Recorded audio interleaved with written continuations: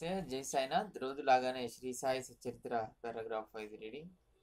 ఈరోజు ముప్పై ఒకటవ పేజీ చదువుకోబోతున్నాము. మననం ధ్యానం వగైరా చేస్తే ఈ అనుభవం ఖచ్చితంగా కలుగుతుంది. శ్రీ సాయి బాబా కాలంలో కూడా ఇటువంటి మోసగాళ్ళు అక్కడికి వచ్చి బాగా అవమానపడి వెళ్ళి తిరిగి వెళ్ళేవారు. క్రీశేజులో ముక్తారాం శ్రీ సాయి బాబా కాలంలో షిరిడీలో ఉన్నాడు. శ్రీ సాయినాథుడు శరీరాన్ని ఉడిచాక రెండు రోజులు ఈ గృహస్థుడు అక్కడ ప్రజలతో శ్రీ సాయిబాబా తన స్థలంలో ద్వారకామాయుడు నన్ను కూర్చోమని ఆజ్ఞాపించారు. నేనే వారి వారసుని క్రీశైలు తాజా కొద్ది పాటలు శ్రీరామచంద్ర పాటలు మొదలగు వారు అతనికి అలా చేయకూడదని నచ్చ చెప్పారు. కానీ అతడు ఎవరి మాట వెనుక వారిని వదిలి విదిలించుకొని బాబా కూర్చునే చోట వెళ్ళి కూర్చున్నాడు. కాసేపటికి అతని కింద నుండి సూదులు గుచ్చుకుని రక్తం కారసాగింది. చివరకు ఏడెనిమిది రోజుల్లోనే భయంకరమైన స్థితిలో అతడు శ్రీవారిని క్షమాభిక్షను వేడుకొని ప్రాణం విడిచాడు. ఇతని సమాధి లెండి బాగ్లో ఉంది. ఇట్లే అధికారాన్ని చాటుకునేవారు.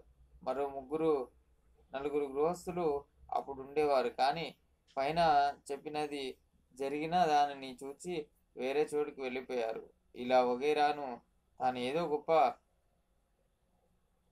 మహారాజు అని అనుకుని పెత్తనం చెలాయించబోతే నా సమానంగా ప్రవర్తించాలని చూస్తావా అని శ్రీసాయి హెచ్చరించేవారు.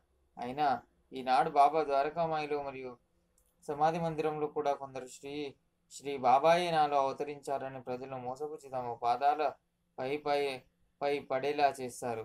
సద్గురువుతో సమానంగా ఉండాలన్న సాహసం చేసిన వారి పరిస్థితి చివర ఏమవుతుందో పైన చెప్పిన విషయాన్ని బట్టి తెలుస్తుంది.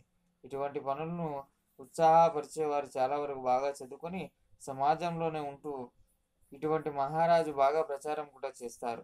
ప్రపంచంలో సాధువులు ఉన్నట్లే మోసగాళ్ళు ఉంటారు. పరమార్థంలో వీరు ఎక్కువగా ఉంటారు. కారణం పరమార్థం బుద్ధికి అతీతమైన విషయం కనుక దానిలో అత్యంత శ్రద్ధ లేకుండా అడుగుపడడం అశక్యం. చెల్ల నాణేలు ఉంటాయని పారిపోగలరా?